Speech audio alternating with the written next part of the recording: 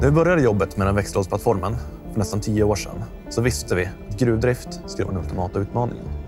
Det, det, finns ingen drift som är så svår som gruvdriften. Branta backlutningar, löst underlag och väldigt kurviga vägar. När man kör upp för branta backar krävs det väldigt korta växlingstider. Om växlingen tar för lång tid kommer fordonet stanna uppför backen. Då vill man inte få stopp. Eh, det är jättebråkigt att få igång ekipaget uppåt igen sen då. Arbetet började med att vi tog vår standardmjukvara och satte i ett gruvfordon och började köra på vår provbana i Södertälje.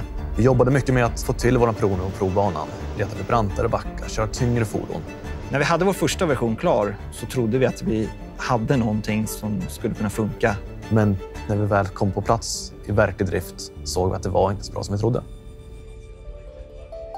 Därefter så kom kunderna tillbaka och tyckte att det här var inte tillräckligt bra. Så vi var tvungna att gå tillbaka igen till, kontoret, titta på data för att sedan gå ut på vår provbana och varv efter varv köra i våra branta backar. Vi såg att vi behövde minska växlingstiden på produkten. Det riskerar att öka belastningen på hårdvaran som utför själva växlingen. Så vi behövde säkerställa att den inte ökade för mycket och äventyra robustheten på produkten. Det har ju varit situationer som har varit lite svettiga och utmanande.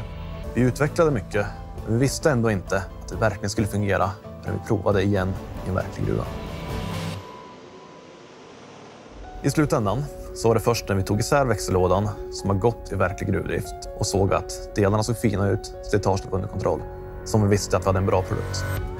Växellådan är en verkligen komplex produkt men som samtidigt sätter hela prestandan för drivlinan. Och med den här växellådan så möjliggör vi både ett sätt att kunna vara snälla mot kopplingen vid start och även att kunna ge en, en hög topphastighet. Man kan få upp till åtta backväxlar, så man kan backa snabbare och därmed få ökad produktivitet.